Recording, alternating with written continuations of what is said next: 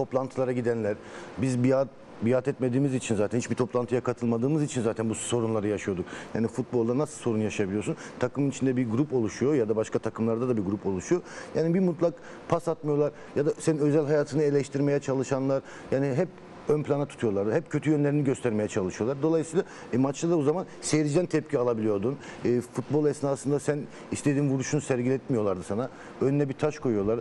E, gerekirse bir grup olduğu için milli takıma gitmede de zorlanıyordun. Çünkü e, sadece hakikaten sadece kendilerini düşünen bir gruptu bunlar. Şöyle oluyordu. Futbolda şu da oldu. Yani Türk dünyada hiçbir futbolcu maç yapmadan transfer olamaz.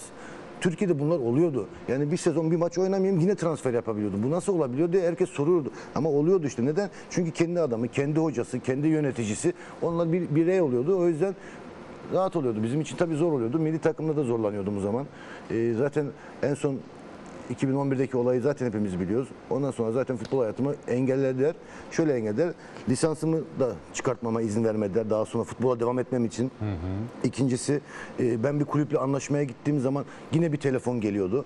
Bunu almayın diye. Şimdi ben Ümit Karal olarak belki Evren'le daha büyük yıldız olabilirim. Ama Evren benim abim olabilir o anda. Ha, askeriyedeki general As- ve aynen aynı mevzu orada da ilişkisi. öyle. Yani orada da abi mevzusu var. O yüzden hani or- oradan mesela genç oyuncular takıma geldiği zaman örnek vereyim. İşte gel kardeşim toplantıya gel. Gelmediği zaman çocuk futbolcu olma şansı yoktu. E, gittikleri ortaklık gözük gözükmüyorlar ama ilk başta doğru yerdeler. E, dini konuşuyorlar. e, kendi aralarında oturuyorlar. Yani bunu kulüpten birileri de bilse, camia da bilse buna ilk başta kimse tepki vermez. Bunun sonrası çok önemli. Ben bilmediğim bir yere gittim. Zaten biz aslında burada olayların binde birini biliyoruz. Yıllarca o işin içinde olan arkadaşlarımız şu güne kadar biz 20 gündür buraya belki 3. defa televizyona çıkıyorum ben. Diğer kanallardan da geldi geldi ama hep aynı kişiyiz yani. Ümit de beniz. Veya işte birkaç arkadaşımız daha katıldı. Yani asıl işin içinde olan kişilerin konuşması lazım. Burada oyuncuları deşifre etmek, sporcuları söylemek önemli değil. Burada ben Anadolu'da daha çok oynadım. Ümit Anadolu'da 3 takımda oynadı. Ben Anadolu'da 14 takımda oynadım. Orada çok çok daha rahat gördüm. Ben bir iki defa şahit oldum ve hep duyumlarım gözetti. Ben çünkü detaycı bir insanımdır. Çünkü takımlarda da lider oyuncu özelliğim olduğu için oyuncuları orada iyi seçebiliyorsun, görebiliyorsun. Orada oyuncularda değil olay. Nasıl geçen e, Sayit Bey herhalde imam diyorlar. O futbolcuların o kulüplerdeki imamlarını bulmak lazım. Burada oyuncularla gidemezsiniz. Oyuncular konuşacak, burada konuşmayabilir. İhbar hattı var, gider ihbar verirler. İsimlerini verirler. Bizim toplantımızda şu kişi geliyordu. Bütün iş onlarda. Yani oyuncuların şu anki aktif olan da bizim konuştuğumuz dönem 97 ile 2007 dönemi. Ondan sonrasını bilmiyoruz ki. Ee, hakemlerin 2005 yılına kadar %70, %80 orana varana kadar hep az subaylardan, askerlerden oluşuyordu. Hakem Ama başka türlü giremiyorlardı ki hocam Tamam, öyle bir evet. şey duvar Öyle da bir vardı yapı yani, vardı ve edelim. duvar vardı. Neden öyleydi peki? Ee, Ben e, hep şöyle düşünmüştüm. Zamanında bu insanlar bu işe gönül vermişler ki şimdi acaba farklı mıydı diye düşünüyorum. Görev vermişler. Hakemliğin üzerine içinde olmuşlar. Belirli bir kademeye kadar gelmişler ve artık e, ben hakemliğe başladığım zaman hakem yöneticilerinin %50'sine yakını e, e, asker kökenliydi. Ama o eski Türkiye'nin de şeyi refleksleri Evet. asker hakim olduğu için Evet. biraz da onunla alakalıydı. Asker 70-80 kökenliydi. Ben o zaman şöyle yorumluyordum. Belki halen öyledir bilmiyorum. Askerler bu işin başında oldukları için tabii iki kişi arasında tercih yapmak gerekir gerektiği zaman kendi meslek grubundan olan kişiyi tercih ediyor. Onunla daha çok birlikte olmuş, onunla gönül bağı var diye düşünüyordum.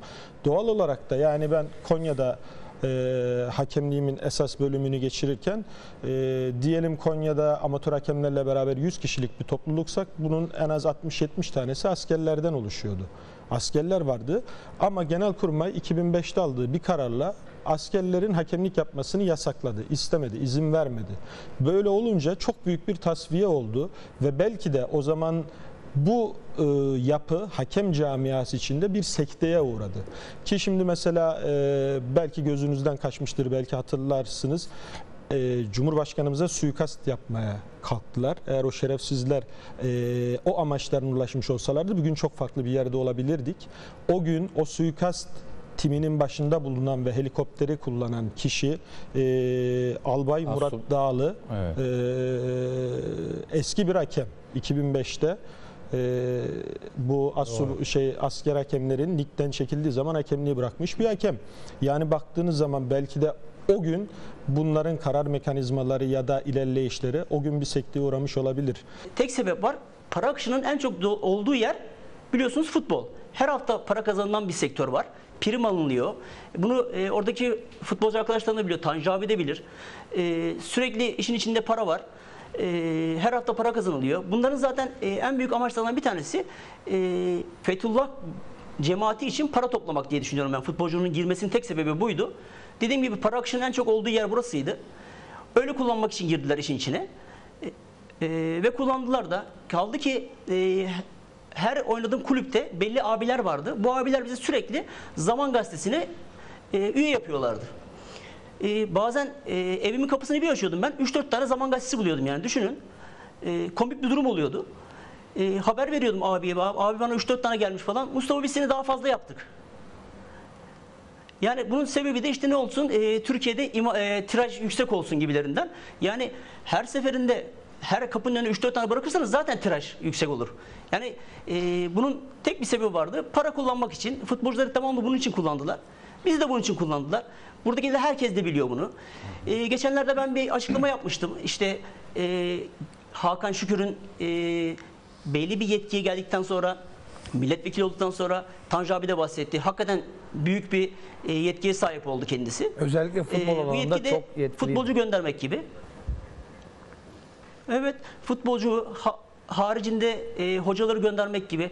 Dikkat ederseniz e, ben Hamza Hamzoğlu'nun ismini verdim, Cihat Arslan'ın ismini verdim. Bunları e, inanır mısınız e, belki de e, futbol camiasının yüzde yüzü biliyor.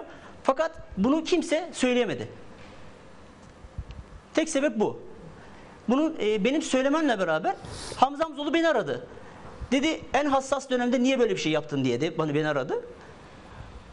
Yani ben düşündüm ki acaba bu hassas dönemde ben yani Hamza, Hakan, Cihat'la beraber bir yere eğlenceye mi gittim acaba ondan mı bahsettim diye düşünmeye başladım. Yani Hakan Şükür bu ülkeyi e, vatan haini olup terk etmiş. Her şeyden önce e, Bankasya'ya paralarınızı yatırın. Sağlam bir banka, güçlü bir banka deyip de 1,5 milyon doları çeken tek insan bu. Ve alıp ülkeyi terk eden insan bu. Ve sosyal medyada e, bunu hala o kadar çirkince kullanan insanlar var ki devletimizin zaten bunları araştırması lazım. E, Hakan Şükür'ü hala destekle destek çıkan e, insanlar var burada. Ben bunu her defasında deklare ediyorum. Ben e, ailemden vatan ve bayrak aşkıyla büyüdüm. Hakan Şükür'ün attığı goller, olduğu gol krallıkları, şampiyonluklar onun vatan haini olmasını engelleyemez.